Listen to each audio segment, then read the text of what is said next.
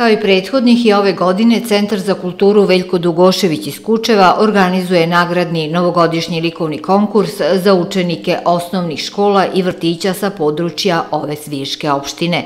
Tema ovogodišnjeg likovnog konkursa je najlepši novogodišnji ukras za jelku i takmičari mogu koristiti sve likovne tehnike Pravo učešća imaju sva deca predškolskog uzrasta i učenici od prvog do osmog razreda osnovnih škola. Prihvataju se samo individualni radovi. Selekciju najboljih radova vršit će stručni žiri i odrediti dobitnike u tri kategorije nagrada. Za predškolski uzrast, mlađi uzrast od prvog do četvrtog razreda i stariji uzrast od petog do osmog razreda osnovne škole.